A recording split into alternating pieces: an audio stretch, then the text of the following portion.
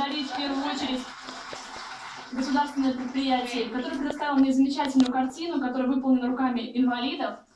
Вот, пожалуйста, она выполнена из арбузных семечек. Вот это из арбузных семечек? Да.